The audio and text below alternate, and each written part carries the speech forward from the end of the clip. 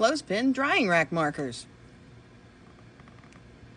Have you tried the trick yet where you've taken your dried out markers and turned them upside down in a little bit of water?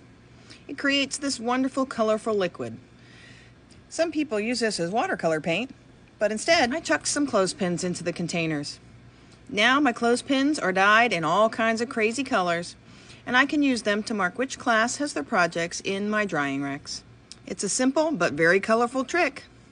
Thanks for visiting the art room.